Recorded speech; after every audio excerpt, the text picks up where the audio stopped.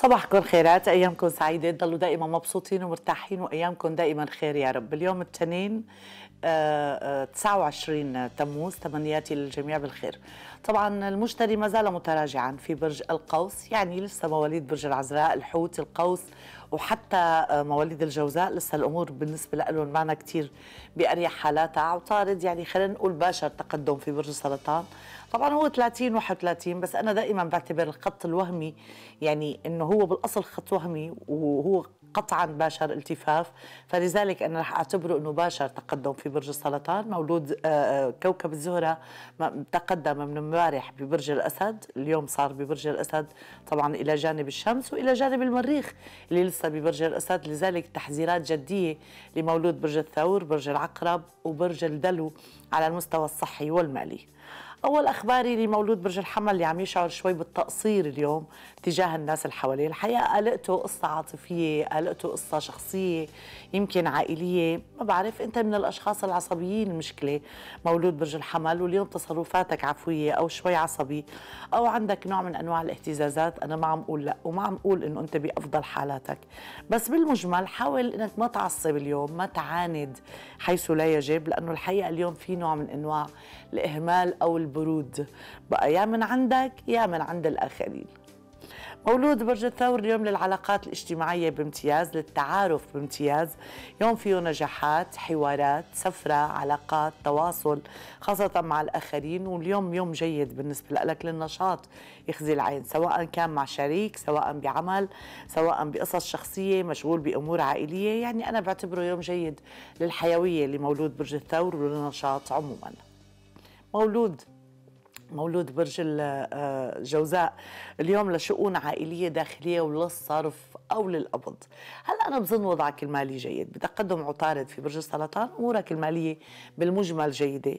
بس يعني هذا ما مبرر للتبذير المشكلة داخل على شهر أنا بعتبره للصرف بامتياز. حاول أنه شؤونك المالية توازنها ترتبها لأنه في نوع من أنواع الصرف اللي ما له مبرر. مشكلة مولود برج الجوزاء بس يتعبى جيبه بيحتار كيف بده يصرف. مولود برج السرطان اليوم الأمور بقى صارت كثير أفضل يعني أفضل من اليومين ثلاثة. الموضوع على الأقل في رغبة بالتغيير أو رغبة بالحلول. فايق من بكير هيك حاسس إنك هادي وحاسس اللي راح راح خلص مش الحال وكأنه ممكن تنطرح عليك مشاريع جديدة أو قصة العلاقه بتغيير.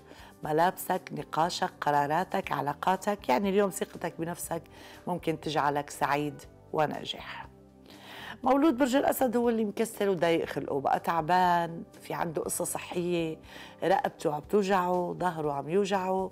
طبعا هي هي الأمراض المعتادة بالمجمل لمولود برج الأسد. مع ذلك اليوم مو بس القصة كسل أو عدم راحة اليوم القصة كثير العلاقه بحسم لبعض القضايا. وما بتمنى أن تستعجل اليوم يعني حاول إنك تجمع كل المحاور بإيدك قبل ما تاخذ قرارات. اليوم فايق شايف منام ممكن يكون ما كتير مريحه ممكن عنده قصة شوي متعبته نوع من أنواع الترتيب التنظيم الكسل يعني وارد يكون في هيك شيء مولود العذراء يوم للسفر أو للاجتماعات أو للتسلية وبامتياز أو للتعارف على أصدقاء جدد أو للتفاهم للتنقلات للأخبار الحلوة لقصة العلاقة بود أو محبة أو لقاءات أو مناسبات. يعني يوم جيد على الصعيد الاجتماعي حتى ممكن تستعيد علاقات سابقة. مولود برج الميزان اليوم الحقيقة عنده بعض المضايقات. وإذا تسألوني بين 12 برج عن البرج الأكثر تعبا فهو بالقطع مولود برج الميزان اليوم. هو عصبي أكثر مما يجب وقابل للشجارات مع الآخرين. وأي كلمة ممكن تشعل له ناره خاصة أنه هو ينتمي إلى الأبراج الهوائية. هو الحلو بمولود برج الميزان دائما أنه شخص يعني عصب اليوم آه بعد خمس دقائق هدي. هي قصة جميلة على كل الأحوال بس مع ذلك اليوم بالذات ممكن يشعر أنه في حدا عم يتعمد إزعاجه أو تدخلات أو أوامر. هلأ أنا برأيي الأمور بدها شوية هدوء. مولود برج العقرب الأمور لك جيدة اليوم خاصة لقيود عم تطلع منا لتحرر لإحساس بالأمان لقصة ممكن تكون سعيدة بالنسبة لك قصة على صعيد علاقاتك الإنسانية تغييرات قد تحدد مستقبلك رحلة جديدة بحياتك في مسؤولية عم بتفرحك وفي مدح من المحيط ممكن يكون إيجابي أوراق أو أعمال أو أولويات. مولود برج القوس كمان الأمور جيدة وخاصة لأعمال أو مشاريع جديدة. يعني أفضل من اليومين ثلاثة اللي مرقوا. على الأقل عم بترتب أمورك عم تفهم شو عم بيصير عم تناقش عم تعبر عن رأيك. والحقيقة في عندك أماني قد تحقق خاصة إذا كثفت جهودك. يعني وجود عطارد في برج السرطان ووجود زهرة في برج الأسد عم بيخليك الأفضل عموما على مدى الأسبوعين ثلاثة اللي جايين. كمان ما تنسى أنه في تقدم بالمشتري آه، ببرجك نفسه ابتداء من عشرة. مولود برج الجدي في آه، اليوم عندك جزء من تعب الحقيقة ما بعرف إذا القصة تأجيل تأخير نزاع محتمل مع الآخرين. ما صار لك يومين ثلاثة أنت مخبي بقلبك مثل ما بيقولوا. في شيء مضايقك زعجك بس ما عم تحكيه اليوم بقى هيئتك رح تحكيه وتناقشه وتعلي صوتك فيه. ويعني في نوع من أنواع المضايقات الحقيقة أو القصص اللي ما كثير مريحة. المشكلة إنه مضايقاتك اليوم مع الناس القراب منك مو مع الأشخاص البعيدين. لذلك هاي الأجواء الضاغطة حاول إنك ما تصعدها ابدا. مولود برج الدلو اليوم عنده مئة ألف قصة شاغلته شغله كتير والحقيقة لازم ينتبه شوي صحيا. وجود المريخ في برج الأسد يتبعه هلأ الزهرة بيخلي عاطفيا صحيا أمورك ما كتير الأريح طبعا وحتى في شيء مالي كمان ما كتير مريح. لذلك أنا بقول قدر إمكانك باعتبارك فعلا عصبي. أنا ما عم أقول لأ.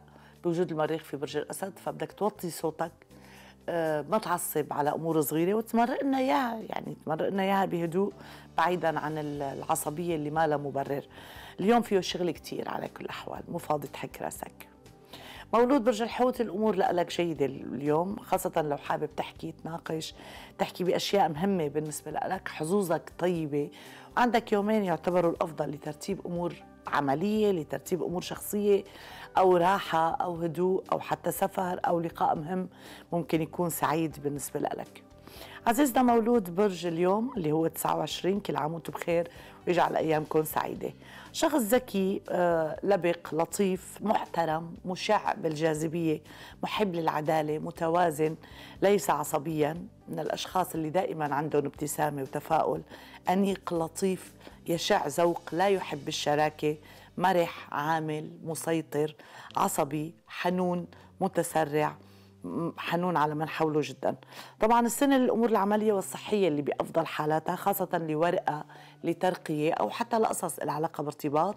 اليوم الأمور إيجابية هي الفترات إيجابية خاصة يعني من 15 8 وما بعد بلش عندك شهرين ثلاثة يعتبروا الأفضل في هذا العام. لترتب أمورك بشكل إيجابي. سنة مهمة أتمناها سعيدة للجميع.